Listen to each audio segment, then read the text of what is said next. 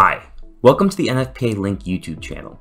This page is dedicated to answering key questions you have related to fire, electrical, and life safety. With easy to use digital access to NFPA codes and standards, NFPA Link is your window to productivity. So one of the most common questions we get here at NFPA when it comes to portable fire extinguishers is how to install them properly. To answer this, we're going to turn to NFPA 10, the standard for portable fire extinguishers. NFPA 10 is referenced by many of the most widely used codes and standards, so there's a pretty good chance that it's going to be enforced within your jurisdiction. Alright, so to help me navigate, I'm going to go over to NFPA Direct. I'm going to look at some of the fire protection systems and go over to our portable fire extinguisher scenario. Now in here, it's going to help me see a couple of the requirements that we can see for portable fire extinguishers. I'm going to go to portable fire extinguisher mounting. Here we can see portable fire extinguishers other than wheeled extinguishers because wheeled portable fire extinguishers can kind of just sit there on their wheels is required to be installed in one of the following means. So either securely on a hanger intended for the extinguisher, in a bracket incorporating releasing straps or bands supplied by the extinguisher or manufacturer. You might see these in portable vehicles and things like that because the straps and bands are really going to make sure that it's secured.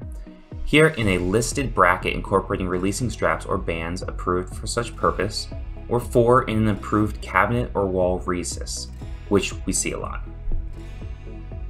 The height of the extinguisher is also going to be important, so determining the mount of a fire extinguisher. Again, we don't want it to be too high or too low, so we have these three requirements here.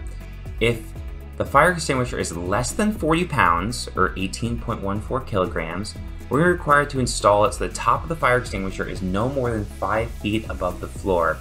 And when you think about this, it's more for safety reasons. You don't want to have to reach up too high for a fire extinguisher. Um, people might not be able to reach it.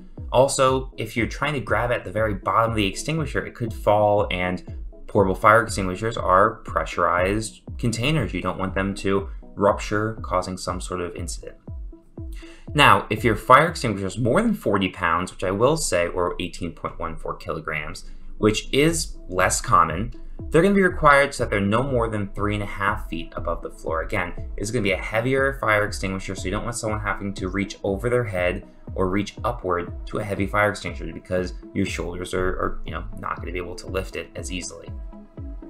And this last one is talking about the clearance between the bottom of the portable fire extinguisher and the floor. It cannot be less than 4 inches or 102 millimeters. This is important because I see a lot of portable fire extinguishers just sitting on the ground. That's not appropriate. The bottom of the portable fire extinguisher is going to rust. It's easy to get knocked over. It's easy to forget about when they're on the floor. Um, and so unless your wheeled portable fire extinguisher, which the wheels keep that fire extinguisher off the ground, then it needs to be at least four inches. And this is a good indication here uh, during this image that can show you the demonstration of a maximum of five feet, or this could be three and a half feet based on the weight of the extinguisher and then a minimum of 4 inches off the ground. If we keep scrolling down, we'll see the code sections that relate to this.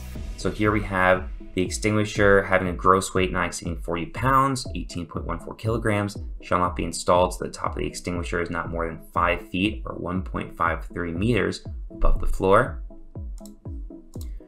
Here we have talking about the gross weight larger than 40 pounds or 18.14 kilograms and having the top of the extinguisher not more than three and a half feet or a meter. Here it says, in no case shall the clearance between the bottom of the hand portable fire extinguisher and the floor be less than 4 inches, 102 millimeters. And this very last one talks about what we just said initially. Portable fire extinguishers other than the wheeled ones shall be installed using any of the following means. So again, that hanger intended for the extinguisher, uh, brackets uh, supplied by the manufacturer, brackets listed, or an improved cabinet or wall recess. It's also important to note that you don't want hangers or brackets to be fabricated in the field because we want to make sure that portable fire extinguisher is appropriately supported. It's not going to fall off the wall, it's not going to fall off its bracket, uh, and so we're going to have only require brackets or hangers provided by the manufacturer or listed. All right, so hopefully that provides some insight into hanging of portable fire extinguishers. For more information about NFPA Link, check out nfpa.org/link.